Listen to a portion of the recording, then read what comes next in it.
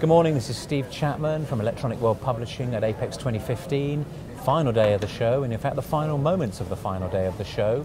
I'm delighted now, though, to be joined on the booth here by Mark Currie from Henkel, who's got some interesting news. Mark, welcome. Thank you very much. Thank you. Thank you, for, the, thank you for seeing me. And uh, you, you guys launched some stuff here, which is quite significant, and uh, certainly from my experience in the electronics industry, especially being very knowledgeable about screen printing, as I became over the years. Yeah. supporting a particular premium brand. You know, I'm familiar with the issues with solder paste and stuff, and you guys have Yes, we have. what you're calling a game changer. So, you know, start off by telling me about that. Yeah, it's a very good point. Um, game changer is. Yeah. We, we thought of a term which would capture the imagination of the electronics industry. Not just launch a new product, but give some attribute to make somebody think about it. Yeah. So what we've done is let's thought of, we took the product back to basics and understand when we go to a customer, who do we talk to? And we talk to two sets of people, or three sets of people typically. We talk to purchasing, we talk to R&D, and we talk to production. Production. And very rarely, they have the same target. Cost Yeah. is for purchasing, Purchasing. and yield is for production. And they don't go hand in hand in terms of the balance. So you have the best quality product, doesn't necessarily mean it's the lowest price product. Indeed. So from that point of view, we then thought, well, there's a mechanism which has to balance. There's a seesaw effect. So you want to please both sets of people. But one thing you do find out is these two sets of people don't normally talk to each other. So what we then found out was, well, let's try and work out how we can address those groups of people. So let's look at the logistics side, and then let's, let's look at the production side. The logistics, what we're trying to do is to reduce the purchasing costs. They all have aspiration to reduce costs, so we thought, well, how does the cost increase? Well, you obviously, you obviously have metals in the solder paste, Yeah. but then you have all these freight and duties and extra costs linked into all those attributes. Yeah. All those costs are linked into the paste having to stay stable because the paste is typically refrigerated. That's a cost that the Yeah. industry doesn't really want to carry. And then when the paste gets to the, to the warehouse, to the customer, where does it go? It goes into refrigeration also. Yeah. And guess Yeah. what happens there? More cost gets Yeah. eaten up. And then the paste goes onto the production line. Oh, guess what? You have to wait for it to get to room temperature. More cost. And then we start talking about the attributes of the product on the production line for the other group of people. What do you want the product to do, and what are your typical challenges? And one of the things you find is the industry has got a lot of protocols which have been developed over 15, 20, 30 years, and not many of them have changed. So we want to think about well, Okay. if I put a paste on a production line, how many hours can I use it? And then if I have a break, how much time am I allowed to have a break? Yeah. And what happens if I have a break beyond that time frame? Do I have to scrap the paste? Or can I use it? What do my protocols tell me? So we start talking to production and find out, well, what is your touch point in terms of paste usage? When does the paste volume start to vary? Is it when you have idle time or is it the product failing on the production line?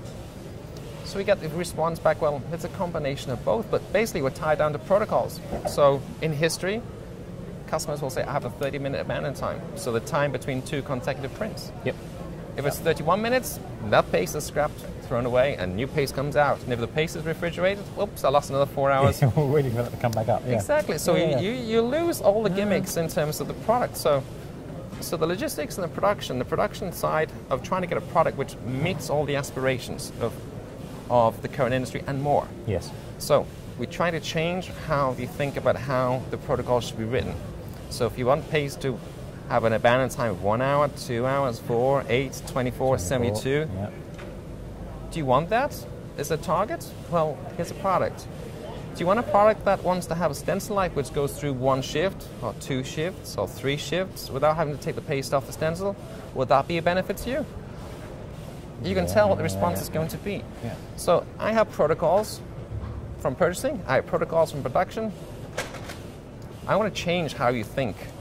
So that's why we start thinking about changing the mindset, so game changing. Hmm. Then on the attribute side, when the product's working in production, well, you want to get the paste's best performance. You want the transfer efficiency to be second to none.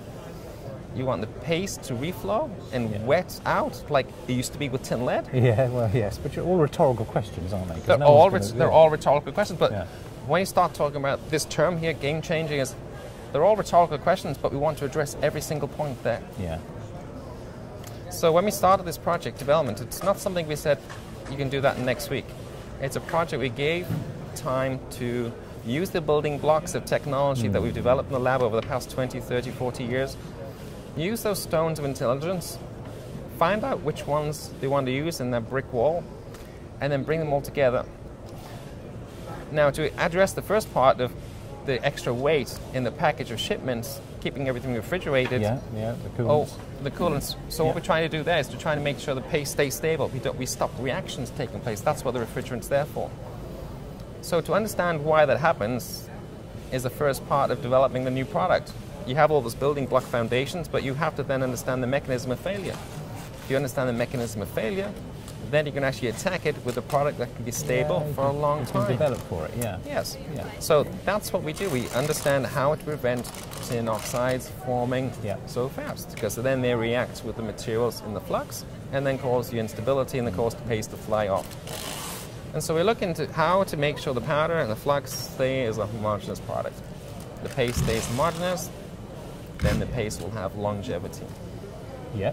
And so that's what we end up doing. So the team had many years of developing and many formulations to get Yeah, here. yeah, I mean, I hear you, and that's great, but you've got, you know, setting out with that challenge in mind and then being able to physically formulate it. I mean, mm. other people must have gone down that route before and worked out to, to, you know, to deliver a product that seems to fit, you know, every dimension, which is basically what you're taking, in the po- and, and actually come up with it and physically make it and deliver it and then launch it at the show. I mean, you know, it, yeah, it's one thing to have the idea, it's something else to physically get there. Yeah. So what did that take? So it's a very good question because Why you guys? why us? Well, why not?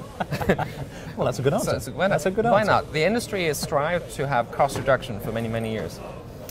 We could have temperature stable product five, ten years ago. Yes. So paste that can stay stable for a long time. But guess what? But It wouldn't print or reflow if you want to have everything.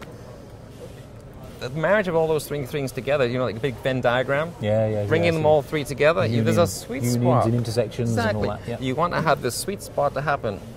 We can print Yeah. day on, day out, have stability, but then it doesn't reflow. And then the reflow, as we all know, is getting more and more challenging because boards are getting smaller, but the complexity is getting worse. yeah, we know. So we have to try and work out how to fit all those things together. But I'm trying to work out why now. What changed? Okay, you talk about your Venn diagrams, and I get that, Mm-hmm. and I can see the things. But you know, is this is there some material technology? Is it is it uh, some new expertise? Is it some research that came together? Was there was there a particular tipping point that you went? You know what? We can do all this. Well, I think it's it's to the point of the industry started the lead free, Yeah. it started the halogen free. Yes. So trends happen within the industry. The biggest concern when you're going to find the powders, solder powders for production, yeah, course. is the instability of the solder paste. If you go into type 5, type 6 paste, the stability is very poor. Yeah. St- shelf life is one to two to three months of refrigeration. Yes. So we're seeing the trend of the industry going that way. Now is the time that I bring this product to market because that is what the industry is striving for: is improved stability with a product which is typically unstable.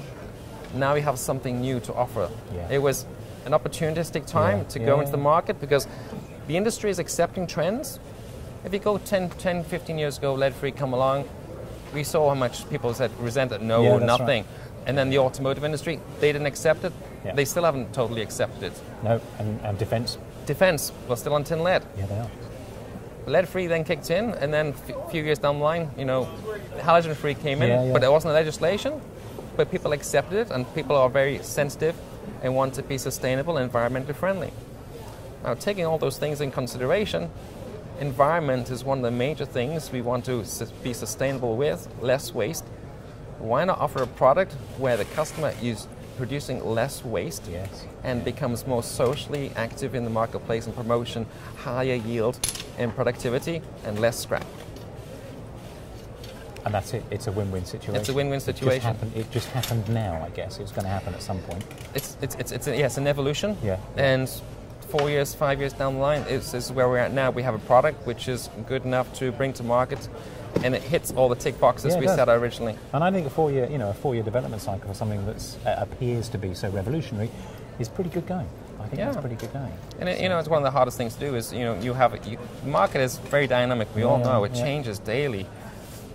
You have to Yeah. have you have to have courage to have two, two, three sets of platforms or projects, and the hope that you arrive at the right intersect At to be able right to point, bring, yes. yeah, to bring a product which is relevant to the marketplace. Well, I think it's great. I mean, I, I'm pleased you came along because I really wanted to know more about it from the little presentation I saw from your team yesterday Mm-hmm. Yes. Mm-hmm. here at uh, San Diego. And so uh, I was fascinated because it, it does seem significant. So Yeah.